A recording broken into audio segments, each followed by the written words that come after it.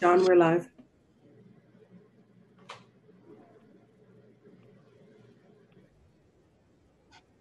According to the PC has begun.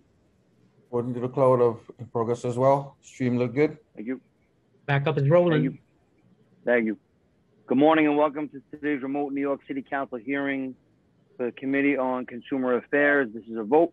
At this time, would all panelists please turn on their video for verification purposes? And to minimize all disruptions, please place all electronic devices to vibrate or silent mode. Thank you for your cooperation. Chair Ayala, we are ready to begin. Good morning. My name is Diana Ayala, and I am the Chair of the Committee on Consumer Affairs and Business Licensing. Today, we will be voting on a proposed introduction number 2448A by Councilmember Gibson in relation to providing paid time to employees who accompany a child to receive a COVID-19 vaccination injection or care for a child with COVID-19 vaccine side effects.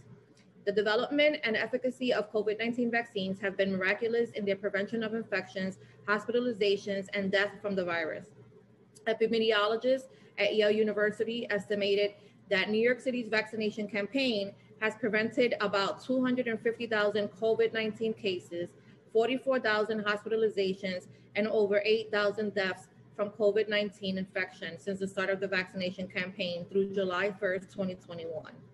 For those vaccinated, life in the city has begun to return to normal.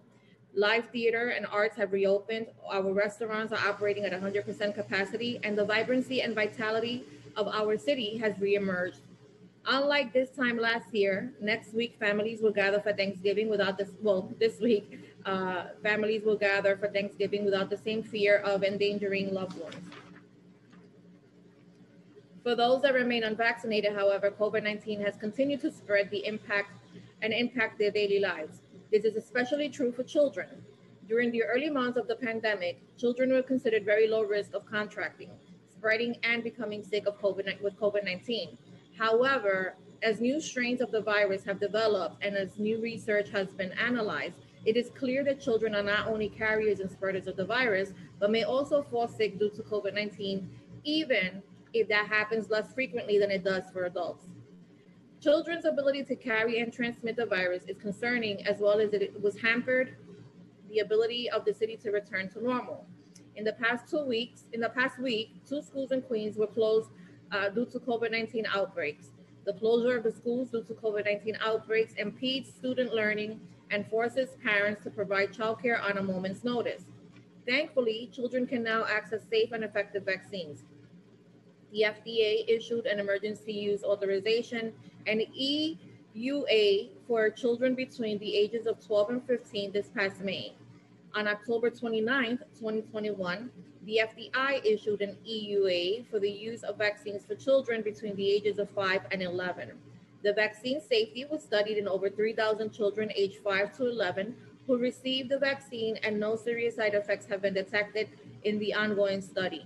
The nearly 2 million city uh, residents under the age of 18 who can now get vaccinated will be a major boost to the city's reco- a major boost to the city's recovery from the pandemic and will further protect those most vulnerable to serious illness from COVID-19.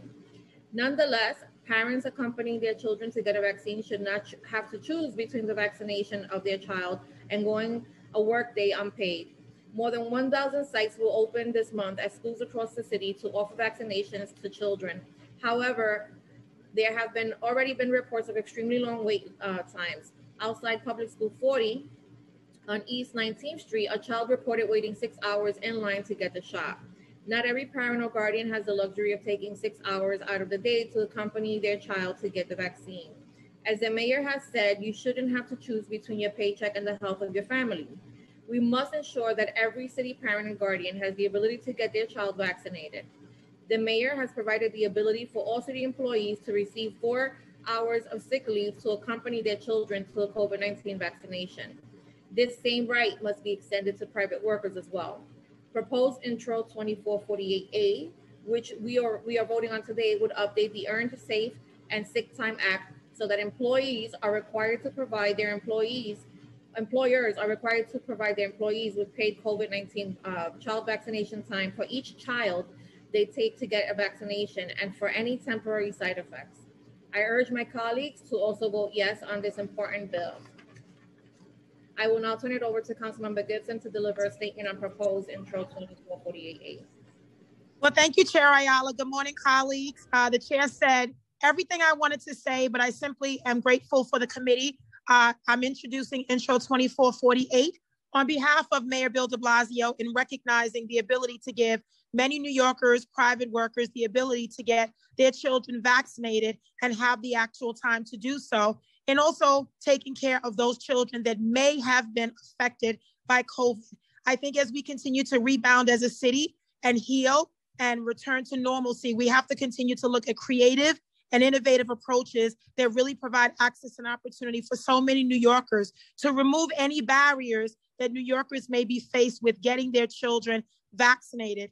And although we know when we start these efforts, there are always hitches, there are long lines, there's not the availability that we expect. But as we continue to work with all of our providers, our schools, the Department of Ed, we will continue to make sure that the vaccine is available to New Yorkers for their children. As someone who has a nephew who has debilitating issues and underlying issues, it's really important for me on a personal level to make sure that my nephew, my niece, and all the children in my family get the vaccine, but all New Yorkers, they really decide to do that for their children.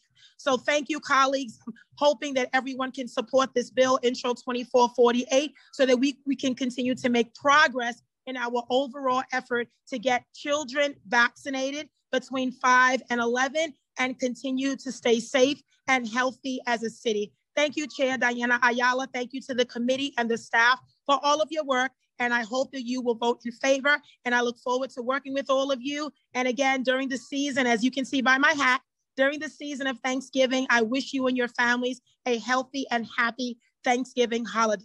Thank you so much, Chair. Thank you. I will now turn it over to the clerk for a roll. Good morning, William Martin, Committee Clerk, Roll Call Vote Committee on Consumer Affairs and Business Licensing. Proposed introduction 2448A. Chair Ayala. I vote aye. Chin. I vote aye. Kallos. I don't know. Thank you. Koo. You're muted, Councilmember Koo.